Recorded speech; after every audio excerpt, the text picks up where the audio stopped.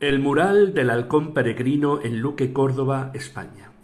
Este gran mural se ubica en uno de los muros laterales del Teatro al Aire Libre de Luque. El halcón peregrino es el ave emblema del Parque Natural de la Sierra de la Subética.